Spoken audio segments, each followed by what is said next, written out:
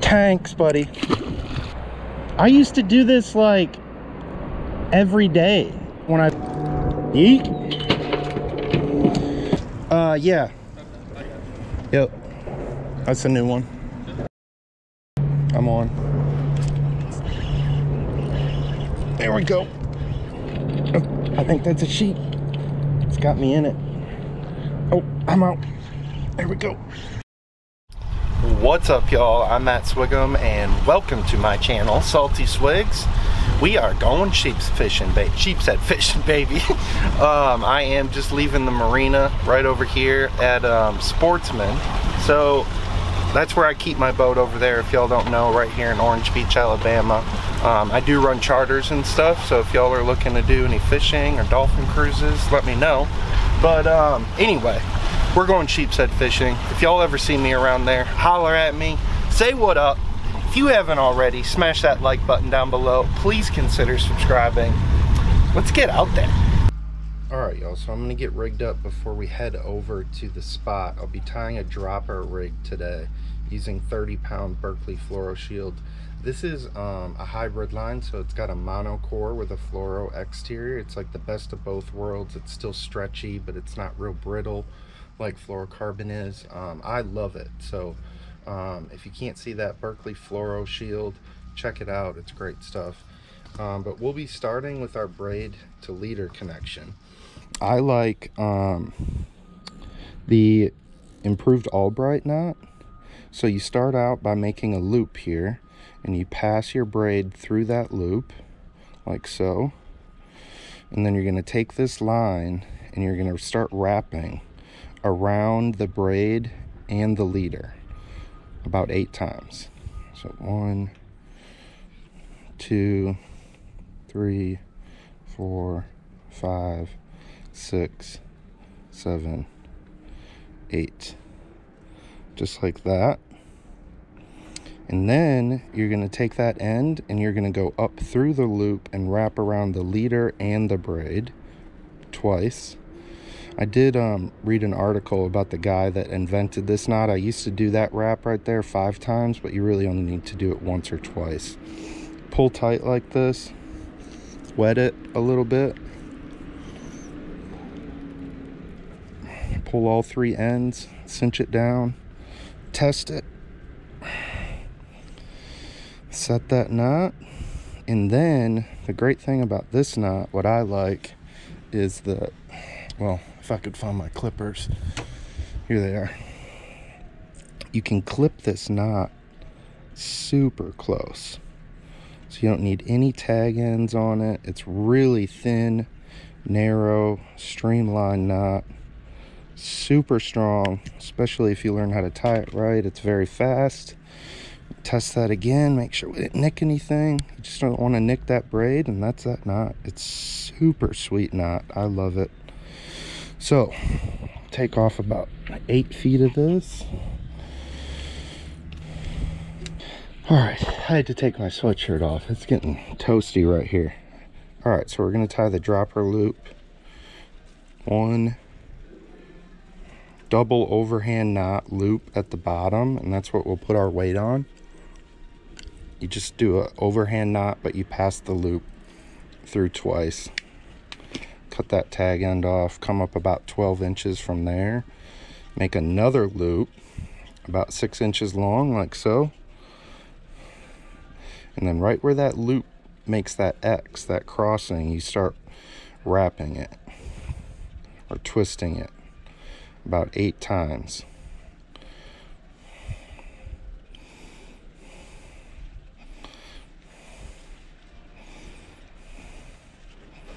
And then right in the middle there where there's that opening that you've been twisting, you take that loop and pass it through. And then you snug this up tight.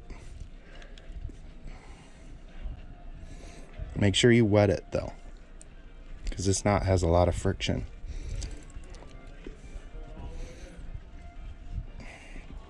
Just pull it tight like that.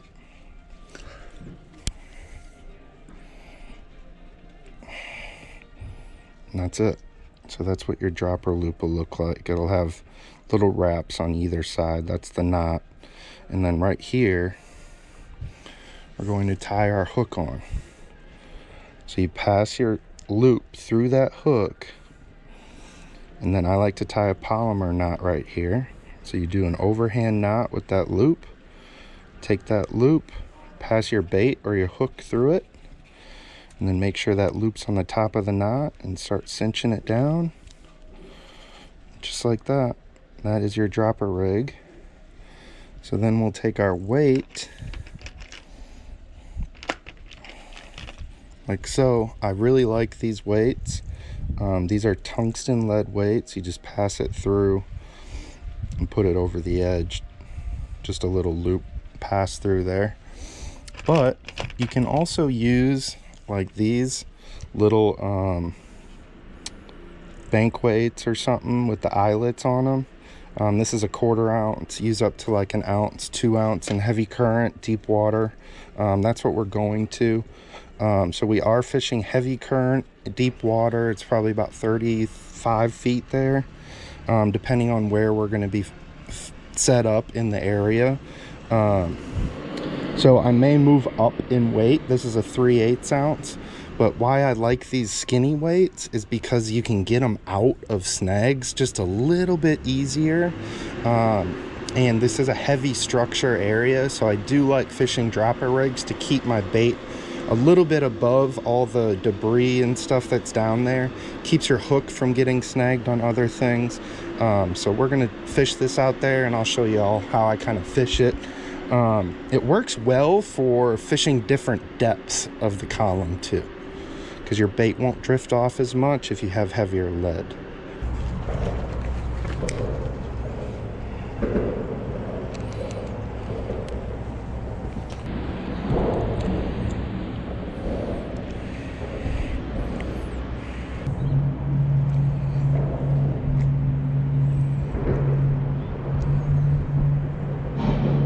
I'm on. There we go. I think that's a sheep. It's got me in it. Oh, I'm out. There we go. That's why we fish this heavy leader. Yeet! Let's go.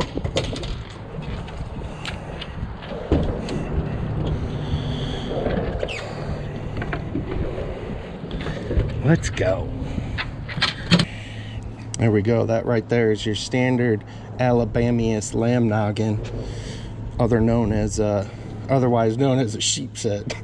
Uh, they got really cool teeth, y'all. They're like human teeth, if you can see that. Cool fish. Yeah, we're not keeping today, so this one's going back. This would be a legal fish. Good hook set. Later, buddy. How's it going? Good. Just got one so far. Yep. Just let it go. Yeah. Just caught one. Three minutes ago, probably.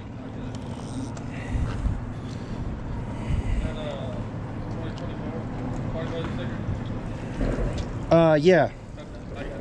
Yep. That's a new one. What do you, uh, how do you run charter? Uh, so I own and operate Back Bay Charters, and I run out of Caribe. But um, probably 90% of what I do is just private dolphin cruises, island hopping, stuff like that. Yeah. Not a ton of fishing. Um, mainly October through like the end of April because I like catching sheep's head. And it's fun for people. It's, you know, it's easy for them to get on and stuff like that. So, Don't really fool with like summertime fishing. no, not really. That's cool. I, I never seen you before, so I figured, hey, Yeah, that's why I don't have the reef sticker either.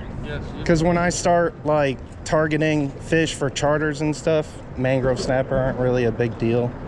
So. What kind of uh, captains? You had six pack? Or? I got a Masters 100 ton actually, yeah. Um, so I used to work offshore um, as a commercial diver out there. So I got all my sea time offshore on like a big 300 foot dive vessel.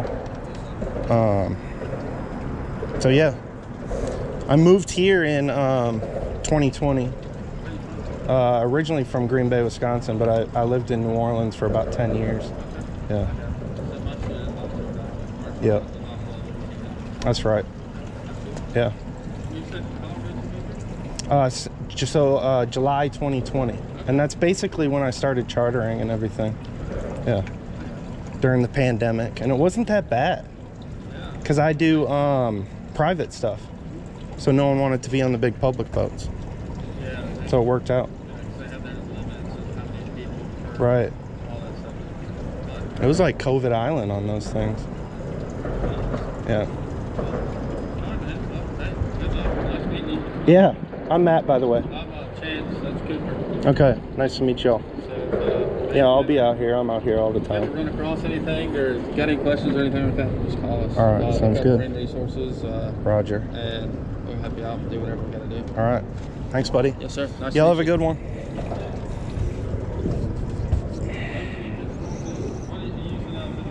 Yeah, just fiddlers. Yeah, you too.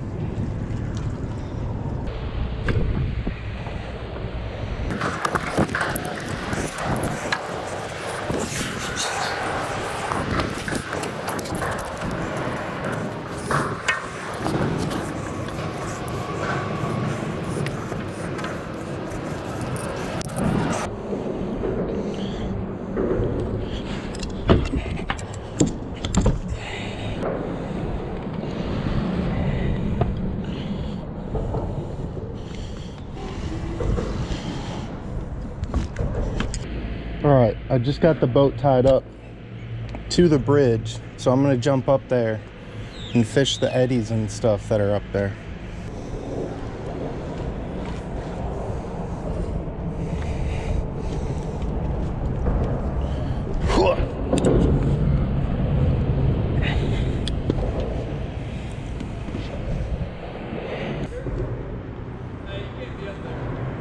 Oh, really?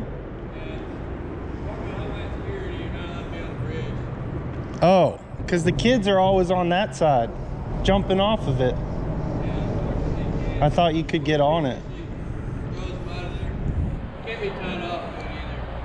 I used to do this like every day when I first moved down here. Like It's great fishing. every day. I'm sure it's good, but now you cannot tie off. Really? Yeah, and especially like so you fishing on this side of it. Yeah. That are right behind it says no fishing in the channel. It's still the same thing, even though you're right there. That makes sense. Okay. That's interesting. Yeah, it's a thing. I mean, I did this for the entire 2020 winter. Really? Yeah. This is all I did. Some of us have never saw you, yeah, you definitely cannot tie off to the bridge. All right. I'll get down.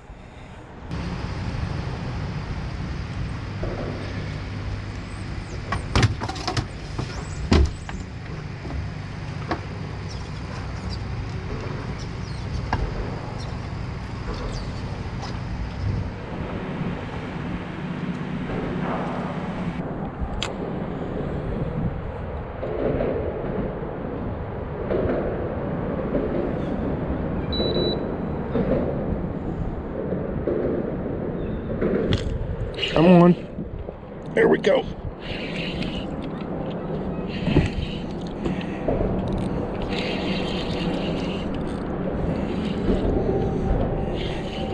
That's a sheep, baby. Yeet. Let's go.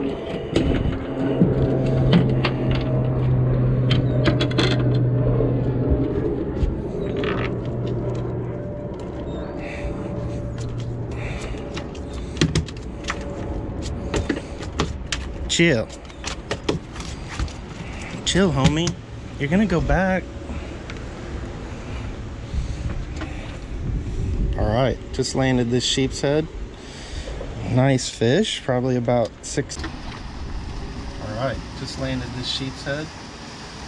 Nice fish, probably about 16. Nothing huge. That's what we're going for. Let her go. All right, so I still am using that dropper rig, but I did just put a one ounce lead on it because the uh, tide's really rolling in now pretty good, so that water's ripping through here. And hooking these crabs um, is pretty easy. I like to just go right through the bottom here, like that, and then just barely have it poke out the top, just like so. And I like to leave the claws on. Sometimes I catch them on just a claw if I'm running low on bait. We've caught them just on claws before, so um, I leave them on. Some people like to rip them off. I don't know why. And um, this actually would be a good application for one of those like swing swing jigs or knockers, sheepshead jigs. Uh, heavy current, deeper water. Um, so that would be a good application for those, but I just I don't use them. I I break off so much sheepshead fishing. It's like I can't spend that much money on all these jig heads when I can just use a hook and a cheap piece of lead. It's like five times cheaper. Um, so that's my only reasoning behind not using that stuff. Uh, but to each his own. It works.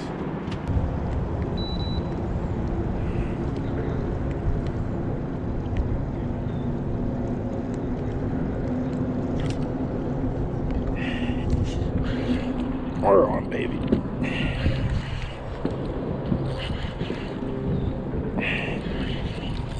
Let's go. That's a decent one.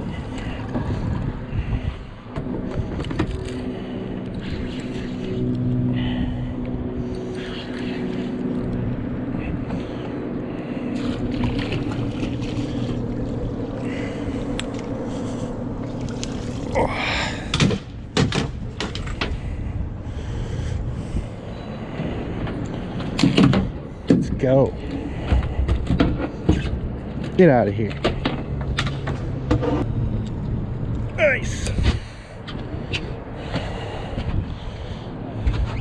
Good one.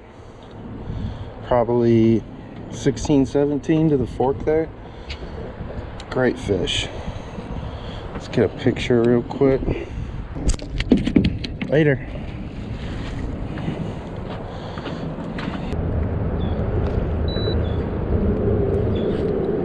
We're on. Oh, it's a good one.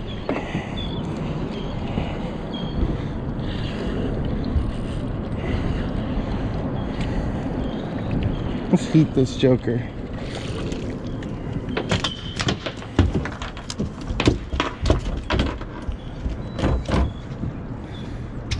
Boom.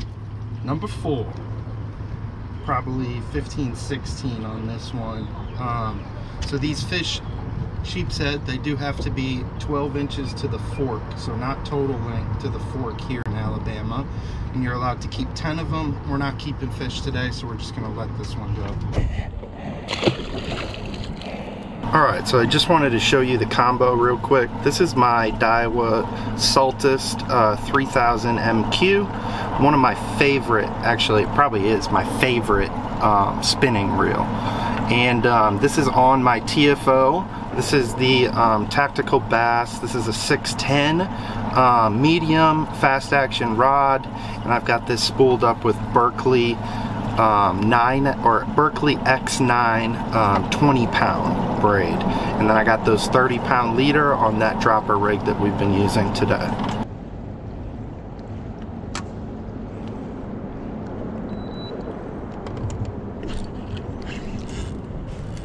Oh, that's a good one.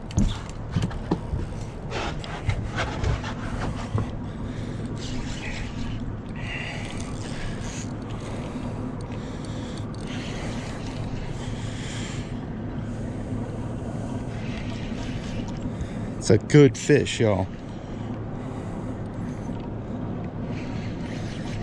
Oh, yeah. Maybe not. Golly. I mean, it's still a good one, but holy buckets. I thought it was way bigger.